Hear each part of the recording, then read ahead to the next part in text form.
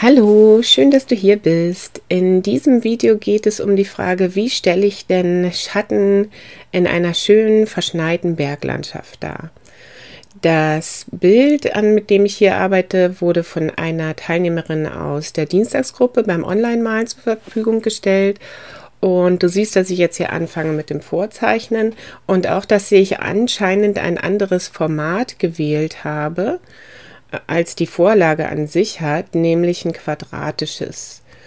Und das liegt daran, dass ähm, mich eigentlich der Effekt im Himmel mit dem Licht äh, der Sonne nicht so interessiert hat, sondern ich ähm, ganz zu Beginn überlegt habe, was finde ich hier denn am spannendsten an diesem Motiv.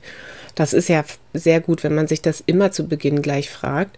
Und für mich ist es tatsächlich ähm, diese Zusammenarbeit, dieser Dialog zwischen den beiden Hütten.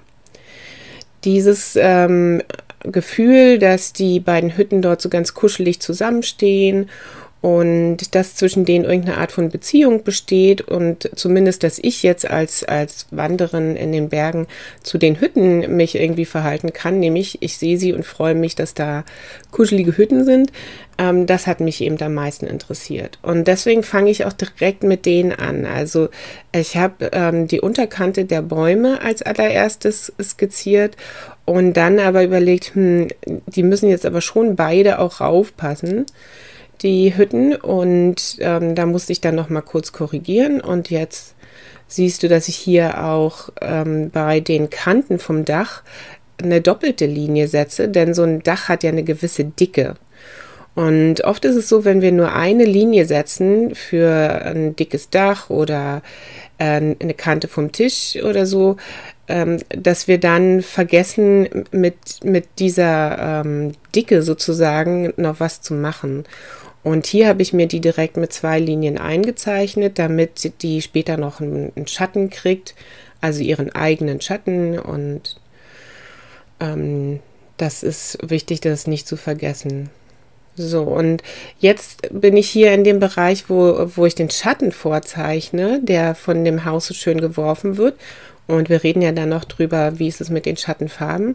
Und du siehst, dass ich das jetzt gleich wieder so abtupfe mit dem Knetradierer. Ähm, denn wenn Schatten Umrisse haben, also äh, Konturen, und man das später im fertigen Aquarell sieht, dann besteht die Möglichkeit, dass sie nicht wie Schatten aussehen, sondern wie irgendeine Art von Gegenstand. Nur dass man dann häufig nicht weiß, was es für ein Gegenstand ist. Deswegen habe ich die Umrisslinie da ganz zart wieder wegradiert. Und jetzt bin ich hier bei dem großen Baum in der Ecke. Der ist so von zentraler Bedeutung, finde ich, weil das so der, der größte Baum ist und der direkt neben diesem kleinen Hüttchen steht. Der ist höher als die anderen. Und äh, ich habe den jetzt echt mit, mit viel Akkuratesse ähm, gezeichnet. Ich weiß genau, dass mir jetzt gleich da ähm, die Lust dafür vergeht, weil ja noch so viele Bäume kommen. Und es geht ja in der Vorzeichnung nicht darum, ähm, alles picobello ähm, anzulegen, so als sollte es eine Bleistiftzeichnung werden, sondern ähm, einfach die, den Platz zu reservieren sozusagen und für mich selbst die Information niederzulegen, hier kommen die Bäume hin, da kommt was anderes hin. Und ähm, für mich ist es deswegen häufig gar nicht so wichtig, dass die Vorzeichnung so viele Details hat. Äh, und deswegen gehe ich jetzt hier bei den Bäumen auch ähm, ganz krude vor und die kriegen jetzt nur so, ein, so eine Außenkontur sozusagen, weil der Wald, der, der sich da befindet, der ähm, ist ja eine zusammenhängende dunkle Form. Und genau so ist es auch hilfreich, darüber ähm, nachzudenken, wenn du ein Motiv vor dir hast, ein Landschaftsmotiv, dass du erstmal guckst, ähm, welche großen Formen sehe ich denn da? Ähm, in welche drei bis fünf Formen kann ich denn mein Bild unterteilen? Und welche Tonwerte haben diese Formen? Und bei diesem Wald ist es, glaube ich, ziemlich einfach, das zu unterteilen, weil das ist ja eine große dunkle Form. Und die ähm, hat eine, eine, große gestalterische Bedeutung für dieses Motiv. Ähm, dadurch, dass der, dass der Wald oder diese Form jetzt hier so dunkel ist, leuchtet natürlich der Vordergrund dann noch so richtig schön hell. Und bei diesem Hütchen finde ich es auch schön, dass nämlich gleich links daneben sich so ein äh, sehr dunkler Schatten anschließt von dem Baum, ähm, von der großen Tanne da und auch noch von anderen Bäumen. Da ähm, habe ich schon die ganze Zeit frohlockt, dass ich das dann da dunkel setzen kann. Ja, und im Prinzip ist äh, mit der Vorzeichnung jetzt auch nicht mehr so viel zu tun. Aus dem gleichen Grund wie zuvor bei dem Schatten von der Hütte habe ich hier die Linie jetzt gerade auch noch mal ein bisschen wegradiert. Ich brauche nur für mich die Erinnerung, dass ich da an der Stelle was machen will, aber ich brauche jetzt keine direkte Konturlinie. Und tatsächlich ähm, will ich den Hintergrund auch ein wenig gestalten, aber nicht besonders ordentlich oder ausarbeiten. Und deswegen kommen jetzt hier noch ein, ein paar Bleistiftlinien für die Berge rein. Und bei solchen Sachen, bei, bei Höhenzügen, die ähm, ja tendenziell so parallel zueinander verlaufen, ähm, da ist es ganz gut, wenn du darauf achtest, dass du deine Linien nicht wirklich parallel setzt. Also, dass die Winkel so ein bisschen variieren und dass hier mal eine Welle drin ist und da, ähm, dass das nicht so von Hand, Menschenhand gemacht aussieht, also die Berge in dem Fall, die Linien sind es ja, sondern dass es wirklich so was Organisches behält. Das ist ziemlich schwer da während des Zeichnens, guck mal hier bei den kleinen Hügelchen da hinten, die sind alle im gleichen Abstand zueinander. Also es ist ein bisschen schwer, das immer umzusetzen.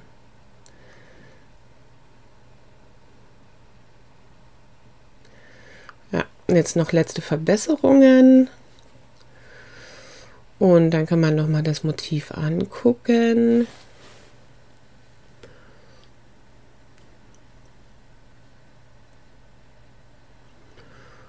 Was ich da eigentlich am Wickel habe. Also nach der Vorzeichnung kommt jetzt eben die äh, kurze Phase nochmal des Vergewisserns, wie, wie mache ich jetzt weiter, wie geht es jetzt los. Also hier ist das Motiv. Ähm, du siehst da meine Maus und du siehst hier die Einzelheiten, die ich auch gesehen habe. Und ein Teil, also nur ein ganz kleiner Teil davon wird den Weg in das Bild finden, weil es nämlich im Prinzip ähm, kein vollständiges, hochwertiges Aquarell wird, sondern eine schnelle Landschaftsskizze. Und du siehst hier die Tonwertunterschiede bei den Bäumen. Das ist vielleicht ganz gut. Also einige sind dunkler, andere sind heller. Und für die Phase des Malens ist es natürlich gut, das nochmal im Hinterkopf zu haben ähm, und das dann auch mit, mit einzuarbeiten. So, und bis hinunter zu den Bäumen, zur Unterkante von den Bäumen, kann ich jetzt wässern. Denn diesen Bereich kann ich im, im ersten Schritt erstmal nass und nass bearbeiten. Aufpassen, dass die Dächer da frei bleiben, denn da gibt es ja schönes gleißendes Weiß. So. Und während es jetzt noch sehr, sehr nass ist, mache ich einen kleinen Farbtest. Ich möchte diesmal Kobaltblau nehmen. Ich sage diesmal, weil ich normalerweise Ultramarinblau für ähm, so ein Sujet nehmen würde. Ultramarinblau und ein Erdton eignen sich sehr gut, um, um solche Schatten zu erstellen. Und auch ähm, das Ultramarinblau für die blauen Schatten selbst ist ja auch sehr schön. Ähm, das ist jetzt Ultramarinblau und in der Mischung mit ähm, Sienna gebrannt. Ja. Und im, oben eben mit Kobaltblau. Und ich hatte mich zuvor aber schon entschieden, dass ich Kobaltblau tatsächlich nehmen werde. Ähm, einfach um auch mal für mich das nicht nur so, ich mal jetzt hier ein schönes Bild, äh, das nicht in dieser Kategorie zu belassen, sondern dass ich auch noch mal was lerne, dass ich noch mal Kobaltblau intensiv benutze und lerne, wie es sich so verhält. Und in das feuchte, auf das feuchte Aquarellpapier setze ich jetzt so ganz locker eine erste äh, variierende Waschung. Du siehst, es verteilt sich da so und ich ziehe das direkt runter an die Kante vom Wald. Denn später kann ich ja die dunkle Baumreihe da noch davor setzen. So.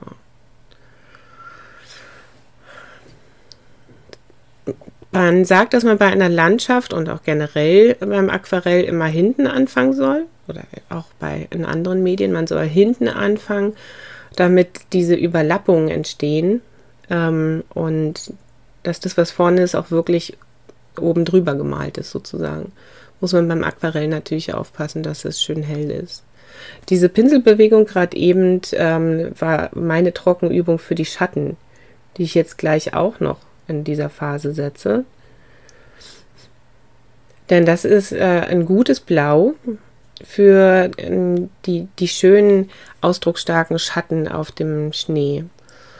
Und warum nicht, wenn ich das gerade sowieso im Pinsel habe und das Papier an der Stelle den richtigen Zustand hat. Es ist nass und ich kann jetzt die Schatten da hinsetzen. Warum nicht? Und die Schattenseite von der Hütte kann auch gleich schon mal eine erste Schattenwaschung bekommen. Also das ist jetzt ein Vorgehen ähm, unter dem Motto, wo ich die Farbe gerade im Pinsel habe, was kann ich damit alles erledigen. Und du wirst sehen, dass diese ähm, Schattenwaschung hier, also die Schatten, die von den Wald geworfen werden, auch die Schatte, äh, der Schatten an der Hütte, dass da nicht mehr wesentlich viel mit passiert. Also das ist jetzt tatsächlich alles im ersten Durchgang erledigt worden. Und jetzt auch hier diese Welle im äh, Vordergrund nochmal auslaufen lassen mit ein bisschen Wasser. Ist der Vordergrund quasi auch gleich fertig gestaltet. Können jetzt noch ein paar kleine Fußstapfen oder sowas in der Art hineinkommen. Ja.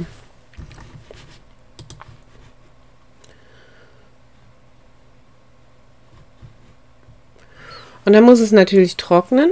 Da hatte ich geföhnt. Aber habe ich jetzt rausgeschnitten.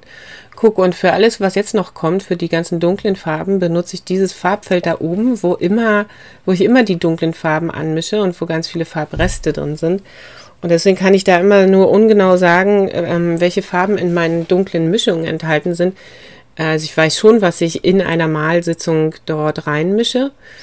Ähm, meistens ein Blau und ein Erdton, wenigstens ein Blau und wenigstens ein Erdton, aber es sind eben auch Reste von vorherigen äh, Malsitzungen immer in diesem Feld. Ist ganz gut, wenn du für, für Sachen, die jedes Mal immer beim Malen passieren, wenn du dafür auch dein kleines Feld hast. So, und jetzt fange ich natürlich auch wieder hinten an, ne, mit den fernen Bergen. Und das ist eine ganz, ganz verdünnte ähm, blaugraue Lasur, weil die ja sehr weit weg sind. Und die Bergreihe davor könnte ein bisschen dunkler sein. Ist jetzt aber nicht so von entscheidender Bedeutung. Ich baue jetzt erstmal das Bild quasi von hinten nach vorne auf. Und du siehst, es ist ein, ein grobes Papier. Es äh, ist ein Feinkornpapier, aber ein, ein bisschen grobes Feinkornpapier von Fabriano. Und hier habe ich jetzt diese, diesen Teil der Bergkette noch mal ein bisschen ähm, dunkler gesetzt, also vom Tonwert etwas erhöht, damit auch klar ist, dass der näher am Betrachter dran ist, dieser Teil. Aber das baue ich jetzt nicht so systematisch auf, dass das, was da vorkommt, jetzt gleichmäßig dunkel wird. Ich versuche die Berge so ein bisschen zu variieren. Und die vermischen sich jetzt ja auch. Siehst du ja, dass die eine Schicht nass an die andere nasse Schicht anstößt und die deswegen eins werden. Hier und da kann man natürlich auch mal was freilassen, dann vermischt es sich da nicht. Schön locker arbeiten. So. Jetzt bin ich da auf der Seite, die in der Vorlage relativ hell war. Ich habe mich entschieden, die ähm, diese dunkle Bergkette, die direkt hinter den Bäumen ist, na, ähm, ins Tal hinein heller werden zu lassen. so dass hinter den dunklen Bäumen es tatsächlich ein bisschen heller ist. Das ist so dieser Effekt, den ich ganz gern mag, von ähm, da steigt so ein kalter Nebel aus dem Tal auf. Zum Beispiel. Also es, es funktioniert mit dem Realismus, dass man denkt, ah, okay, da unten ist das kalte Tal, da steigt jetzt so Kaltluft auf. Ähm, aber der wichtigste Grund dafür ist ein gestalterischer. Wenn es nämlich hinter den dunklen, dunklen Bäumen tatsächlich etwas heller ist, dann ähm, ist der Kontrast da höher und dann ist das wirkungsvoller. So, und jetzt ziehe ich die Waschung noch runter bis an den Waldrand, dass da keine ungewollten Kanten irgendwie entstehen. Denn alles das, was am Wald passiert, ist ja noch viel dunkler und kann nochmals oben drüber gesetzt werden. So. Und während das jetzt dann nass ist, überlege ich, kann ich damit jetzt noch was machen? Kann ich diesen feuchten Bereich variieren? Ich könnte zum Beispiel versuchen, die Bäume etwas anzudeuten. Dafür ist es hier jetzt eigentlich noch zu nass. Also das äh, auf der rechten Seite wird es jetzt ein, ziemlich dunkel, groß und zusammenhängt. Auf der linken Seite ähm, entsteht tatsächlich so eine variierende Struktur. Und ähm, die Logik dahinter ist jetzt, dass man natürlich an der Bergreihe, die direkt hinter den Bäumen sich befindet, die können wir ja in, in ihrer Außenkontur gut erkennen, dass man da natürlich eigentlich mehr erkennt. Also da ist es ganz gut, wenn es äh, da so ein bisschen mehr Variation gibt. Da würde ich jetzt nicht mit einem kleinen Pinsel in so einem kleinformatigen Bild, das ist ungefähr 20 mal 20, würde ich jetzt nicht mit einem kleinen Pinsel da irgendwie was machen, aber einfach da mehr Variation einbauen. So, und jetzt, während das da oben alles nass ist, ähm, kann ich ja hier unten weiterarbeiten an der Hütte. Und auf dieser Schattenseite ist sie natürlich relativ dunkel. Deswegen nehme ich jetzt dieselbe ähm, Kobaltblau Sienna gebrannt Mischung oder vielleicht ist da auch im Umbra gebrannt enthalten und setze erstmal die dunkelste Schattenseite ähm, in so einem kühlen Grau und zum Licht hin wird es dann ein bisschen wärmer. Das ist jetzt mit Sienna gebrannt aufgewärmt. Ist zwar immer noch eine Schattenseite, aber äh, ich muss es ja, ich muss die Hütte ja nicht anstreichen mit immer derselben Farbe.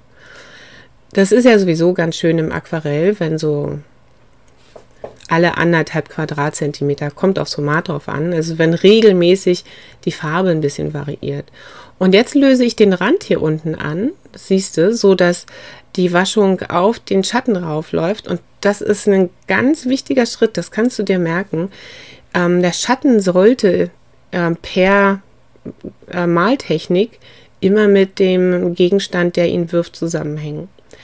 Und dadurch, dass jetzt diese Schattenfarbe von der Hütte ähm, nochmal auf die Schattenfarbe im Schnee raufgelaufen ist, ähm, ist da ein besserer Zusammenhang hergestellt. Sieht einfach organischer aus.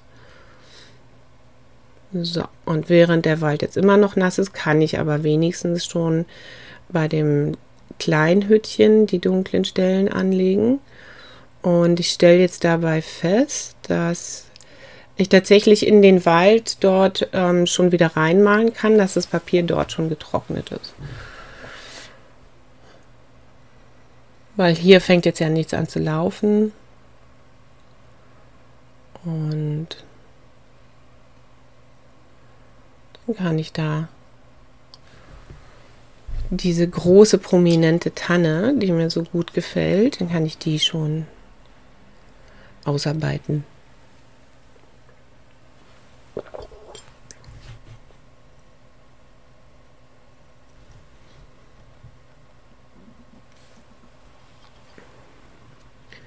Und alles mögliche andere, was inzwischen drin immer noch einfällt, auch noch erledigen. Pinsel wechseln, genau. Guck mal, hier ist jetzt nämlich die Kante von dem Dach. Und die wird jetzt nochmal an dieses kobaltblau basierende Schattenblau gesetzt. Das, die ist ja im Schatten, wohingegen das Dach größtenteils eben in der Sonne ist.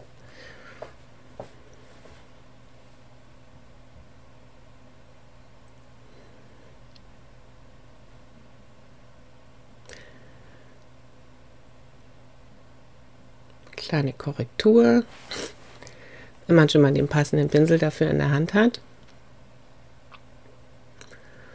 So, und wo der Wald jetzt auch hier schon trocken ist, fange ich jetzt mit diesem super kleinen Pinsel an, ähm, die, den dunklen Wald auf das Papier zu bringen, mit einer Mischung aus Kobaltblau und Umbra gebrannt und möglicherweise ist da auch noch das dunkle Delftblau von Schminke enthalten. Das ist ja jetzt wirklich eine sehr dunkle Mischung. Und äh, du fragst dich jetzt vielleicht, warum nimmst du denn da so einen kleinen Pinsel? Das äh, liegt an der an der Kante oben. Also die Außenkontur, das sind ja Nadelbäume, die ist halt so spitz. Und da dachte ich, ach, das ist ja ganz gut mit so einem kleinen Pinsel das zu machen, aber äh, da kommst du natürlich überhaupt nicht voran. Deswegen wähle ich jetzt den ähm, anderen Pinsel. Das ist so ein chinesischer Tuschepinsel mit Ziegenhaar und der hat eine sehr feine Spitze. Und in dieser Phase denke ich, dass ich den anderen Pinsel jetzt auch noch mal benutze, dass ich so eine zwei Pinsel, zwei Handtechnik praktizieren werde. Ganz witzig, mache ich nie und deswegen lege ich den kleinen jetzt auch zur Seite und äh, versuche einfach mit dem ja gut, ich lege ihn doch nicht zur Seite. Ich löse da unten den Rand an. Damit nämlich auch hier der, der Wald mit dem Schatten zusammenhängt. Und du siehst die, ähm, ich habe jetzt mehr Blau wieder aufgeladen. Nicht, nicht durchgehend für eine große Form auch immer die gleiche Farbe verwenden. Das sieht nicht natürlich aus. Deswegen ist jetzt hier dieses, ähm, die Farbmischung für den Wald ähm, etwas blaustichiger. Und Wahrscheinlich wird jetzt die Farbe gleich wieder wechseln. So. Und du siehst, dass es ganz gut ähm, funktioniert eigentlich mit dem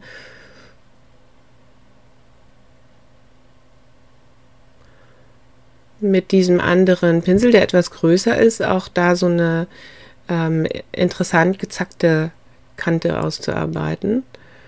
So, mich zieht es zu dem großen Baum. Ich möchte den gern ausarbeiten, aber ich möchte natürlich auch an den nassen Bereich ranarbeiten, ähm, damit da kein Trocknungsrand entsteht. Das wäre jetzt nicht so schlimm, aber von der Logik her ist es einfach so, ähm, wenn ich in der einen Form bin, dann arbeite ich die immer an das Nasse anschließend eben durch. Und du siehst auch, dass die Mischung hier wieder nicht genau so blaustechig ist wie zuvor. Die ist, da war jetzt schon wieder mehr Braun enthalten. So, und jetzt lasse ich das da in den Schatten reinlaufen.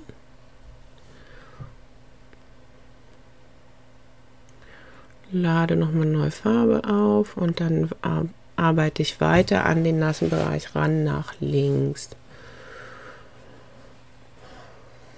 Und schon in diesem Arbeitsschritt ist der Wald ähm, mal heller und mal etwas dunkler. So.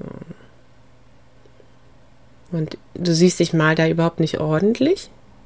Versuche die Farbe relativ locker aufzutragen, damit sie sich auch jeweils verschieden verteilt und dass das einfach wie was Organisches aussieht und nicht wie angestrichen.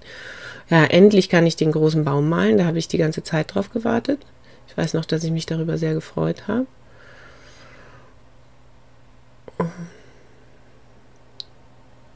Jetzt kommt doch die Zwei-Pinsel-Technik nochmal zum Einsatz.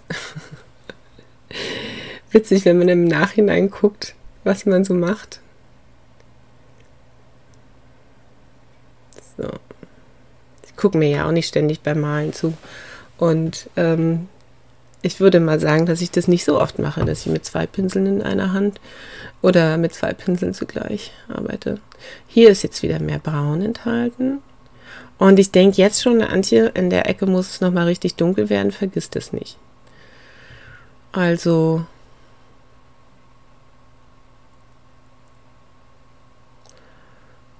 das ist jetzt schon ähm, einiges dunkler als an anderen Stellen in der Baumreihe.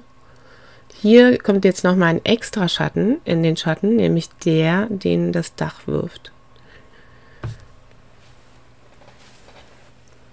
Also und direkt unterm Dach, auf der Schattenseite von der Hütte, müsste es eigentlich richtig dunkel sein. Und deswegen habe ich das jetzt gerade auch nochmal dunkler gesetzt. Ja, und im Prinzip ist das jetzt ziemlich ähm, komplett, das Aquarell. Also jetzt bin ich schon in der Phase, wo ich denke, okay, jetzt mal eine Einschätzung vornehmen. Was muss jetzt hier noch getan werden? Mit dem kleinen Pinsel ein paar Verbesserungen vornehmen. Okay. Ähm, wo kann ich äh, etwas, was noch läuft und vielleicht nicht laufen soll, reparieren?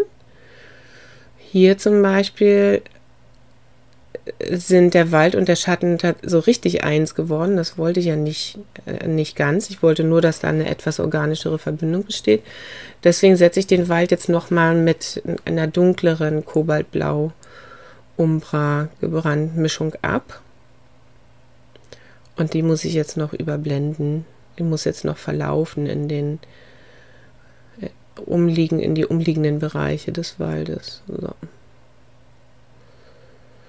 Und die große Tanne in der Ecke, die ist auch noch nicht so richtig dunkel. Die darf auch noch etwas dunkler werden. So, die ist jetzt richtig, richtig dunkel.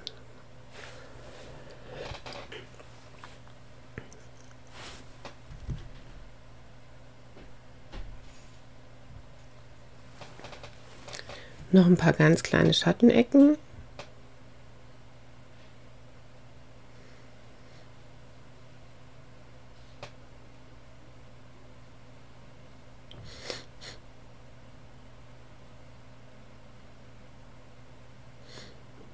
Und das folgt jetzt der Frage, die zum Schluss äh, immer gut ist, sich die zu stellen. Wo kann es noch mal dunkler werden? Wo in meinem Bild kann es noch mal so richtig schön dunkel werden? Und das sind oft nur ganz kleine Stellen, aber die ähm, machen schon einen Unterschied. Also man muss nicht eine ganze große Form noch mal sehr, sehr dunkel setzen. So.